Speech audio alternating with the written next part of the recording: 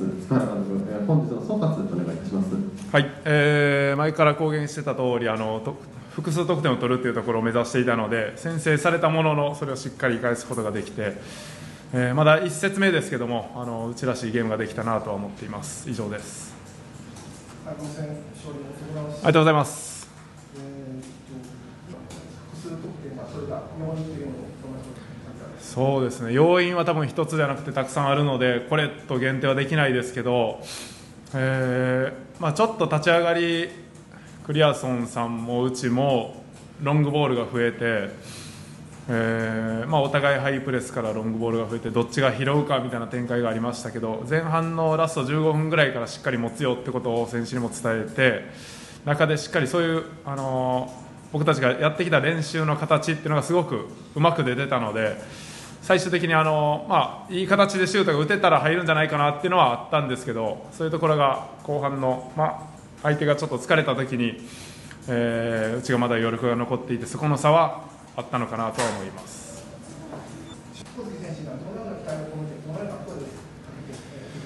えー、小生に関してはまだルーキーで合流してから間もないですけどもこの間の練習試合ですごく、あのー、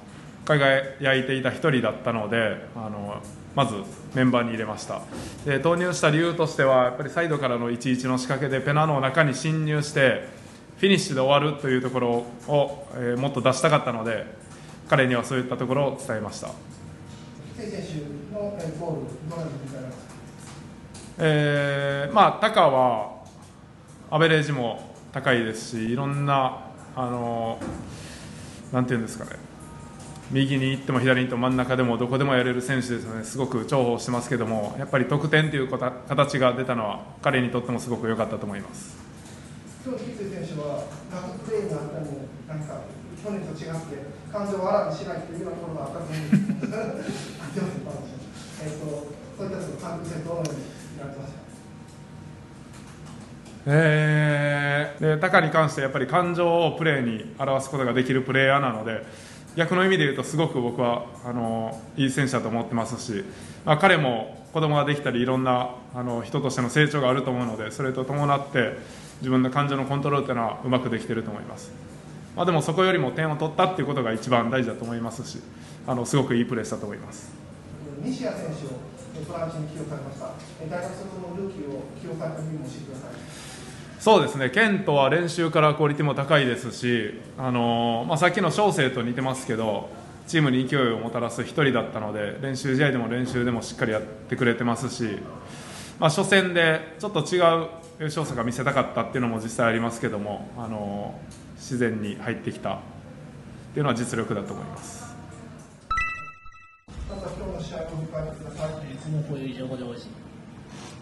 Um primeiro tempo difícil,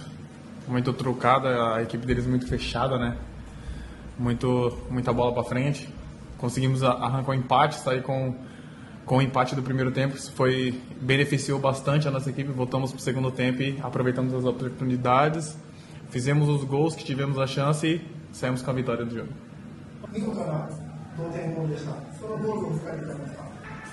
Feliz,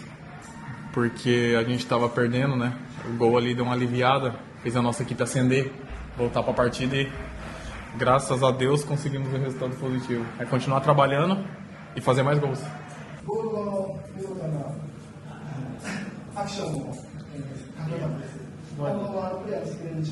ah, eu sempre, desde pequeno, sempre gostei de capoeira. Na minha cidade tem um grupo que chama Colegas Unidos, do, do mestre Gilmar, onde frequentou meu pai também e eu herdei isso. Graças a Deus dei seguimento ao trabalho, gostei da, da capoeira também, que é um esporte que eu gosto. E é uma homenagem para eles também, essa, esse, essa comemoração. Todo jogo. Entonces va a ser más de 30 goles. Espero. ¿cómo no?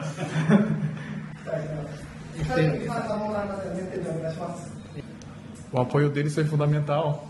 nos motivou ali. A gente vê essa torcida linda que o nosso time tem, é, é surreal, é algo incrível. A gente se sente motivado lá dentro, a gente quer fazer gol e, e sair vitorioso para eles comemorar também junto com a gente. ありがとうございます。見事な逆転勝利でした。はい、ありがとうございます。今日の試合を振り返ってください。そうですね、まああの開幕戦っていうのもあって、まあ、相手も結構 前に速くっていうサッカーやったんですけど、まあ、そこで僕らもまあ球際であったりとかそういうプレーもうそこの1対1の局面とかを負けないっていうのはもう常に言ってたんで、まあ、そこで、まあ、前半ちょっと失点してしまったところはあったんですが、まあ、流れも作れてたんであー前半1対1になって、まあ、後半もこの勢いでいこうっていう感じになって、まあ、3点結局取れたんで良かったかなと思います。決勝点となった吉井選手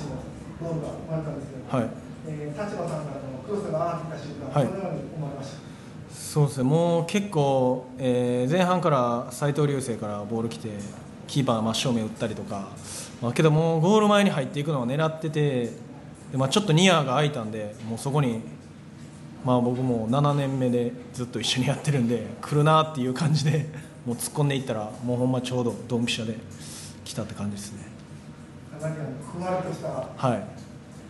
いいボールが飛んできてそうですね、もうなんか巻くボールじゃなくてもう縦のこう綺麗なボールだったんで、もうほんまにこう触るだけで入るというようなそんな感じで最高でした。いいボールでした。吉井選手、はい今日はすごく落ち着いていらっしゃってるいかがでしょうか？いやーまあけど相手もまあ僕らもそういうスタイルだと思うんですけど、まあまだ結構もうスイッチ入りそうやったんですけど、ちょっとまああんまりあのカードとかイランカードとかやっぱりそういうのは絶対あかんなとは思ってたんで、まあちょっと落ち着いてでき最後の方は落ち着いてできました。激しいプレーは見せながらもそのあたりは一つ成長されたというふうに感じてよろしいですか？そうですね、その感じでお願いします。ありがとうございますでは最後に、えーっとファンサポーターの方にメッセージをお願いします、えーまだまだコロナ禍なんですけどホームゲームとかで ユニフォームを着てやっぱ応援してくれてたらすごい力になるので、まあ、ぜひあのグラウンドで一緒に勝って喜べたらなと思います、えーまだ開幕で1勝しかしてないんですけどこれをまあ継続して勝てるように頑張っていくので応援よろしくお願いします。えー今日の試合を、えー、振り返っていただけるでしょうか？まあそうですね、えっと、まずは、まあ、チームとして勢いつけたいということで、まあ、開幕戦勝利できたっていうのは、まあ、とても大きかったと思いますし僕、今シーズンから加入したんですけど昨シーズン逆転勝利がなかったというのを聞いていて、まあ、失点した後も、まあ、チーム内で、まあ、そういうなんか逆転できないんじゃないかっていう空気じゃなくて逆転できるっていう空気だったっていうのはとても良かったと思います。あのコーチ選手が入られたのは、後半に入ってからですどのような思いで、えー、ととまずは、まあ、チームのチームに貢献したいという気持ちで、まあ、自分の特徴のドリブルでやったり背後抜け出しを出すという以前にチームのために走ったりチームのために戦うということを、まあ、まず大前提において戦うことを、まあ、試合に入りました。限られた時間の中ではあったんですけども、えー見事なプレーにも見せていただきました。ご自分の中でそういったプレーの点としては、えー10点満点中何点につけられるんですか？まあ、ドリブルが、まあ、自分がもっとできるっていう自信があるんで、まあ、ドリブルが1で、まあ、ゴールはやっぱチームのためになったかなというので5で、まあ、6点ぐらいですね、合わせて6点。はい、そのゴールすごく見事なゴールでした。ゴールを振り返っていただけますかそうですね。まずは、まあ、久保選手からいいボールが来て、まあ、あとは、まあ、自分のうん感覚というか、まあ、狙い澄ましたというよりは、まあ、気持ちで押し込んだという形のゴールでした。何か今シーズン、まあ、幸先よく1点取れたわけなんですけども何得点ぐらい取りたいみたいな個人的な目標みたいなのがありますか？まあ、2桁、2桁っていう大きな目標を掲げてそれがまあチームの成績にまあ貢献できたらなと思います。今日のそのドリブルもすごかったんですけども他にも、えー、とこんな持ち味があるのというのがありましたら教えてください。そうですね。とドリブルだけじゃなくて、まあ、左足のシュートであったりそういうのが、まあ、右利きですけど左足のパンチのあるシュートとかあとはコントロールシュートとか、まあ、ちょっと自信を持ってるんでそういうところを見ていただけたらなと思います。たくさんゴールアシストを見せてください、はい。それでは最後にファンサポーターの方へのメッセージをお願い。しますとまずは今日もたくさんの応援ありがとうございました。とまあ、FC 大阪というチームの応援と、まあ、神月翔成という選手の応援もこれからたくさんよろしくお願いします。ありがとうございます。今日の試合をそうですね、まあ、前半に 失点してしまったことは、まあ、個人としてもチームとしても課題が残ったのかなとは思います。でまあ、前半の最後に、えールイスが、えー決めてくれてそこから、まあ、チームに勢いが出て FC 大阪らしい試合ができたんじゃないかなとは思ってます。それ大阪で試合をして、えー前半に失点したはいまあ、失点はしたんですけど、ま、この開幕までしっかり、えー仕上げてきてたので僕自身はそんなに慌てることなく、まあ、前の選手を信じてあとはもう僕ら後ろはもうこれ以上やらせんとこっていうのは、まあ、しセンターバック2人と話してしっかり、えー最後まで戦いました。その後はもう点を取られないということが結果的に逆転勝利に結びついたと思うんですけど、はいその後このプレーで、えー、となんか気をつけようとしたこととか、えー、気をつけまあそうですね相手が結構前から来てたんで、えーとまあえー近場につけるのではなくて、まあ、裏に、えーひっくり返すようなボールを、まあ、蹴ってそのまま牛大阪らしい、まあ、勢いのあるプレーを続けられたらなと思いながらやってました。最後のハイボールの処理などで、あの落ち着いてらっしゃるプレーに開幕見ましたけれども、今後はどのようなプレーを見せていきたいと思いますか？そうですねやっぱり自分らしくそのハイボールの処理だったりセービング、キックの質をもっともっと上げていって、えーチームの勝利に貢献していきたいなと思ってます。はい。えー今日は熱い応援ありがとうございました、えーまだまだこれからリーグが続くと思うので、えー僕たちも一生懸命、えーできるだけ勝ちが多く取れるように頑張っていきますのでこれからも熱い応援よろしくお願いしますまずは今日の試合を振り返っていただいていいでしょうか。そうですね、まあ、立ち上がりはまあ勢いを持って入れたんですけど、まあ、やっぱり最初に失点をしてしまったってところはまあまだ、まあ、チームとしてもまあ個人としても改善できるなっていうところではありますけどやっぱりそれをまあ3点取ってひっくり返したっていうのは、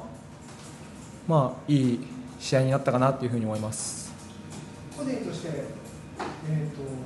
大学卒業して初めて、えー、J リーグで試合をする、えー緊張とかはありましたか？そうですね、まあ、これまでの練習で、まあ、自分がやってきたことだったり、まあ、求められていることをまあやるだけだったんで、まあ、そこに緊張だったり、まあまあ、あまりなかったですけど、まあ、いざ入ってみるとやっぱりファーストプレーだったり自分の最初のプレーはちょっとまだ、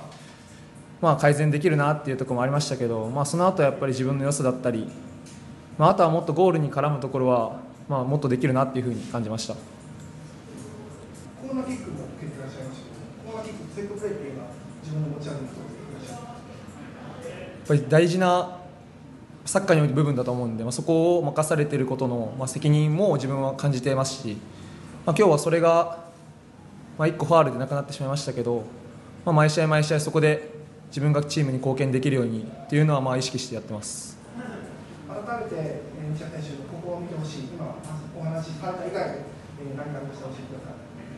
まあ、やっぱり自分左足での、まあ、最後のシュートだったり、まあ、パスだったり、まあ、ドリブルで運ぶとこだったりの質だったりあとはそのセットプレー、まあ、守備でも運動量だったり、まあ、厳しくいくところ潰せるところっていうのは自分のと持ち味だと思うんで、まあ、それをしっかりと、まあ、毎試合毎試合チームのためにやることが、まあ、自分のも求められていることですし、まあ自分のそういう長所だと思うんで、まあ、それをしっかりとやり続けていきたいなっていうふうに思います。ファンサポーターの方は西田選手の声を聞くのが初めての方もいらっしゃると思います。最後、カメラ目線で、えー、ファンのサポーターの方へのメッセージをお願いします。えーまあ、今年から新加入という形で加わ加わりましたけどやっぱりチームの一員であることに変わりはないんで、まあ、このチームを勝たせるっていう責任を持って、まあ、ピッチに立ちたいと思いますし、まあ、やっぱりその J3 に上がるっていうのはやっぱり J2 から J1 とかよりもまた違ったものが絶対得られると思うんで、まあ、高校時代にお世話になったこの、まあ、大阪の街に第3の J リーグクラブを、まあ、しっかりと導けるように全力で頑張っていきますのでこれからも応援よろしくお願いします。